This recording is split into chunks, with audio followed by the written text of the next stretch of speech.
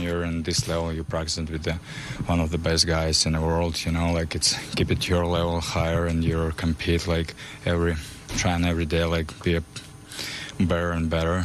It's kind of like still like kind of the development stuff. Like you're trying to be better every day, and like kind of like the simple and we work it really hard. I mean, like in the practice, especially the, like the goalie coach, like did some some small thing. These things like help us in a game, like and I mean, like in the future. What was that uh, third period like for you?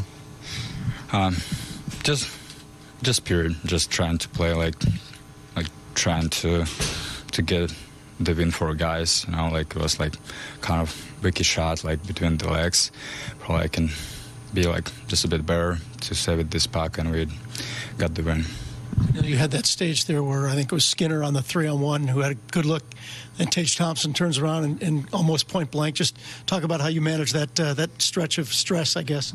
Uh, I mean, like just trying to play like at this at this moment, like trying to do like like kind of the old school from Becker, like he trying to cheat, teach us some of these things. Uh, I mean, like in the practice, so it was good.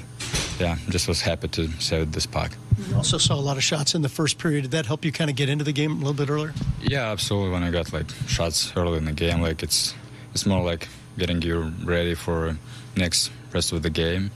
So yeah, it's kind of like good for goalies. I mean, could you tell that your your team looked pretty pretty tired after on the back to back? Yeah, yeah, it was. Yes, it was pretty tough game. Like really big comeback, OT win. I mean, like they like they did a decent job yesterday, and today I was pretty like probably tired, and like my goal was like help the guys like and get this win.